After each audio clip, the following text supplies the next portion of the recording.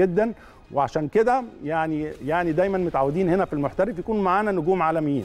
معانا نجوم عبر زوم هيكون معانا طبعا في من العاصمة الهولندية أمستردام. لنعلق طبعا عن مباراة هولندا والتشيك ومباريات اليورو بصفة بصفة عامة. معانا من من أمستردام واحد من أساطير الدوري الهولندي واحد من فعلا نجوم الجيل الذهبي اللي لعب لنادي اندهوفن في الثمانينيات. المهاجم الإنجليزي روب ماكدونالدز صاحب طبعا السيرة الذاتية الطويلة اللي لعب فيها يمكن لأندية كبيرة جدا جدا أبرزها طبعا اندهوفن الهولندي نيوكاسل الإنجليزي وسبورتنج لشبونة البرتغالي. معانا ومع حضراتكم عبر زوم النجم الكبير روب ماكدونالدز. مساء الخير مستر روب. أشكركم شكرا جزيلا. طبعا بنرحب بيك هنا في شاشة قناة النادي الأهلي. في البداية طبعا تعليقك آه، على الهزيمة آه، المفاجأة هزيمة المنتخب الهولندي أمام المنتخب التشيكي أعتقد أن كان هذا خيبة أمل كبيرة آه، فكانوا. آه، فازوا في مباريات كثيرة. وكان لدينا شعور إيجابي من جانبهم ولكن التشيك ليست بالفريق أو ليس بالفريق السهل فإذا آه، نظرنا إلى الفرص التي كانت أمام هولندا مع اللاعبين التي يتمتعون بها ولكن مع الهجوم الذي حدث وال والكرة التي تخطت الدفاع وأيضا الكارت الأحمر الذي يعني تم وضعه للفريق فكان الأمر صعب للغاية أمام التشيك. هل من وجهة نظرك فعلا دي ليخت وطرده كان نقطة تحول في هذه المباراة وإن كان يمكن كانت ردة فعل المنتخب الهولندي ليست على يعني المطلوب وليست بالقوة اللازمة للرجوع للمباراة مرة ثانية تعليقك إيه عن هذه النقطة؟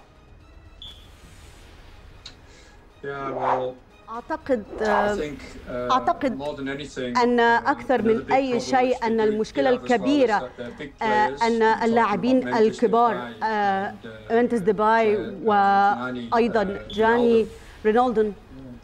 لم. يكونوا في uh, المباراة. آه، لم نستطيع أن نشعر بهم.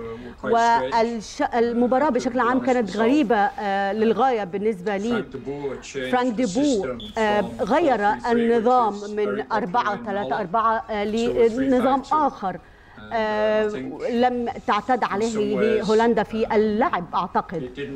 وهذا لم يكون جيد بالنسبة لهولندا. طبعا آه، يعني طبعا في في كلام كتير جدا على فرانك ديبور المدير الفني للمنتخب الهولندي. هل هيكون في ردة فعل بالنسبة للاتحاد الهولندي وإقالة هذا المدرب أم آه، يمنحه الثقة مرة تانية لبناء؟ يمكن فريق يمكن آه، يط- يطمح طبعا في الوصول لكأس العالم القادم وتحقيق لقب عالمي جديد.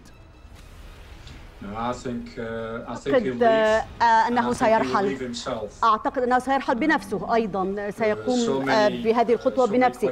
فهناك الكثير من الأسئلة حول لماذا فعل ذلك؟ لماذا وضع هذه الخطة؟ لماذا لعب بهذه الطريقة؟ برغم من أنهم فازوا بثلاث مباريات فكانت المجموعة سهلة للغاية. وكان اللعب فيها سهل. ولكن أعتقد أنه سيترك بنفسه. على مستوى على مستوى مباراة بلجيكا والبرتغال. شفت المباراة دي إزاي؟ وشفت خروج حامل اللقب البرتغال وطبعا بالقائد الكبير كريستيانو رونالدو ورحيله عن اليورو 2020 آه نعم. أعتقد لا يجب لا يجب علينا أن ننسى أن بلجيكا بلد كبيرة وأنا أف- أنا أفضلها على المستوى الشخصي في الحقيقة. ولديهم لاعبين مميزين. آه، كيفن دي براون أعتقد أنه من أفضل اللاعبين في العالم. صحيح. آه، وهو أعتقد آمل أنه سيستطيع العودة إلى الملاعب. بلجيكا استطاعت أن تلعب بطريقة لطيفة وربما أقوى من البرتغال. والبرتغال كانت أيضا لديها فرص في النصف الثاني من المباراة ولكن لم تكن لديهم حظوظ كبيرة. وبلجيكا كان لديها بعض اللاعبين الذين لعبوا بصورة قوية جدا وأدوا أداء مميز في الحقيقة. وفي وسط الملعب وفي الكثير من الخطوط ولديهم دفاع قوي وحارس مرمى قوي. أعتقد أن بلجيكا ستستطيع أن تتقدم. في مباراة مهمة جدا جدا كمان في دور النوك أوت أو دور ال 16 تجمع ما بين المنتخب الإنجليزي والمنتخب الألماني، شايف المباراة إزاي من وجهة نظرك الفنية ومين الأقرب للوصول لدور ربع النهائي؟ نعم. هذا عندما أنظر إلى تاريخ المباريات فبالتأكيد الألمان دائما يفوزون ويتقدمون ولكن أعتقد أن إنجلترا لا أعتقد أنهم يلعبون بشكل جيد. إنجلترا إذا رأينا فهم لم يستطيعوا أن يحرزوا أو يحققوا أهداف كبيرة في المرحلة. السابقة لم لم نستطع أن نلعب بالطريقة التي يجب أن نلعب بها. وإذا كنت لأكون واضح أعتقد أن ألمانيا ستفوز وستصل إلى النصف النهائي وربما أيضا إلى النهائي ألمانيا فرنسا في النهائي.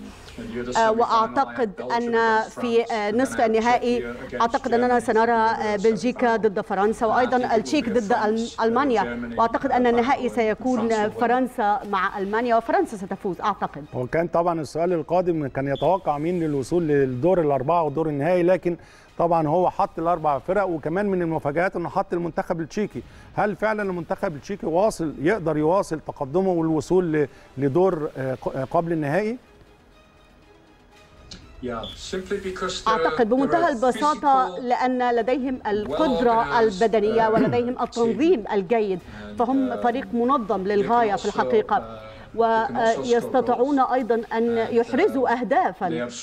وأعتقد أن لديهم لاعبين مميزين في هناك لاعبين في جميع الخطوط. ولديهم أيضا وهم أيضا مهنيين ولديهم القدرة البدنية العالية وأعتقد أن التشيك ستصل إلى النصف النهائي. وأيضا ولكن عندما يلعبون أمام ألمانيا فأعتقد أن ألمانيا ستكون صعبة بالنسبة لهم.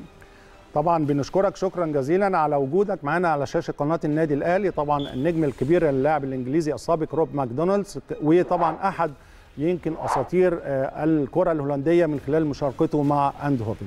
طبعا شفنا مع حضراتكم أجواء اليورو 2020 وخاصة دور ال 16 لسه متواصلين مع حضراتكم نروح نفاصل وبعد الفاصل معانا نجم مميز الضيف المميز محسن لملوم هنتكلم ونتحدث بقى عن مفاجآت دور ال 16 وكمان توقعاته لدور ربع النهائي في المحترف.